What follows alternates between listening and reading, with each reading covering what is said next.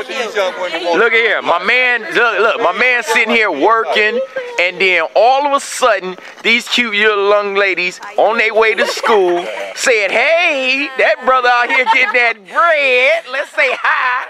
See there? See, that's what happens, y'all young guys. Y'all out here, you working, you getting your money, and you getting it legal. Hey, you got the girls that want to stick by and say, hey, I want a legit man that's out there working hard. See, this is what I'm talking about, y'all. This is what I'm talking about. He ain't no killer. He out here working hard. And he got the girl sitting there chilling with him. You feel him? You feel him? That's the that now see, that's the man right there. Don't let it fool you.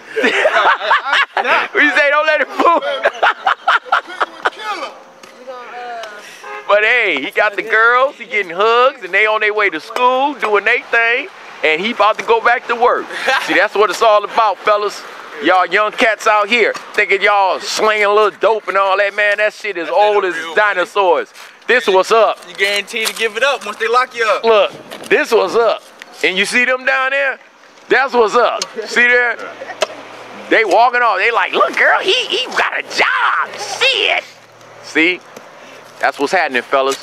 Get out here and start getting some work done. For Rap real. Name name Time Money. When I blow up, everybody gonna be laughing. That paper too. That's what I'm talking about. See there?